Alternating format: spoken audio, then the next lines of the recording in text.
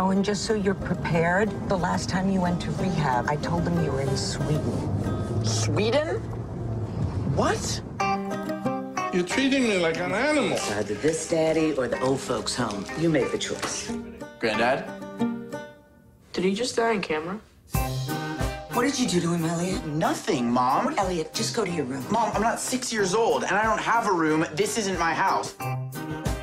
Elliot has obsessive compulsive disorder. He has Tourette's syndrome, for God's sake. Oh, okay. Sorry. Now, if we could have the groom walk his mom to her seat. Um, it, uh, I just. Didn't you tell, tell me what, Lynn? Patty, why don't we get a breath of air? We are outside, Paul.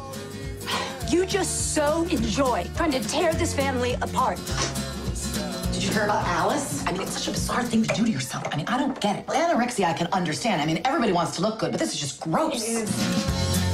Elliot says that Lynn says that when Dad met you, you were a stripper. Have you been telling your kid that I was a stripper and a coker? You're such a good mother. Elliot, so sweet. Get out. Get out, you son of a bitch. You just insulted yourself. Shut up. Am I a bad mother? I was thinking about it, and the only one who is normal is Dylan, and you didn't raise him like at all. Everybody thinks that I don't understand everything, but I want to. You know what, Elliot? Go get high. Ruin your fucking life because I'm giving up. We all know what you want, man, because you never had the decency to keep anything private. This is my family, and this is hell. You can't let them tell you who you are or what you're capable of. They don't matter. You do, Alice. You do.